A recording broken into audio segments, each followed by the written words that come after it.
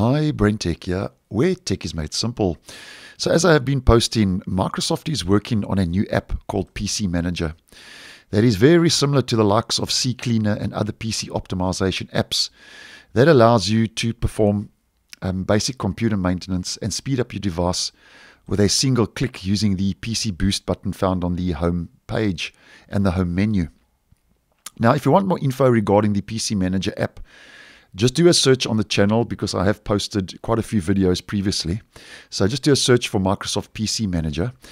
But uh, just to let you know that uh, since the major version upgrade that rolled out about a month ago, um, which included a new layout, as we can see, also included the new toolbox and other options.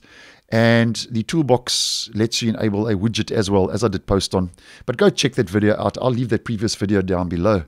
Now, just to let you know that um, if you are using the PC Manager app, by the way, which is still in public beta, so uh, you can expect to get a couple of bugs.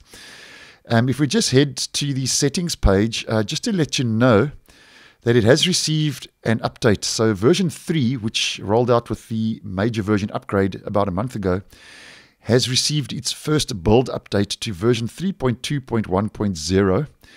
And it doesn't really bring any major uh, new options um, or settings. But what it does bring uh, is a new um, settings shortcut. So, shortcuts setting, as they are calling it in the PC Manager app. And um, yeah, you can customize a shortcut using your keyboard for the custom um, manage- management of um, blocking pop ups. Now, um, just a quick recap regarding pop up management. It was a feature that um, Microsoft did roll out a couple of months ago to the PC Manager app, as I did post on. And what it does is it allows you to uh, block advertising pop ups from different apps, very similar to the pop up blocker you get with your um, web browsers, as an example. Now, um, just to demonstrate how this will all work, um, if we just head back to the settings, you'll see that um, the default um, keyboard shortcut is Control and F2, and you can actually change that to a shortcut of your own personal choice and preference. But I'm just going to use uh, the default Control F2. And uh, um, I'm just going to use my PC recording app just to demonstrate. Now, this won't actually block any pop ups because there are no um, advertising pop ups being generated, but just to give you a general idea.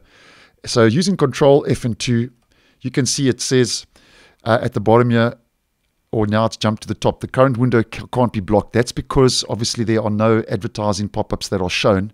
And if you just move your mouse around, you will see now that you can actually block the window if there is a pop-up. And obviously, if you don't want to, you can cancel that. So that's basically how the pop-up manager works, and you can enable that using um, Control and F2 as the default keyboard shortcut. So just letting you know, as mentioned, that that new update is rolled out, uh, version 3210, and that's for the new PC Manager app that Microsoft is working on, which just basically lets you perform basic um, computer maintenance and optimization of your Windows 10 and your Windows 11 device. So thanks for watching, and I will see you in the next one.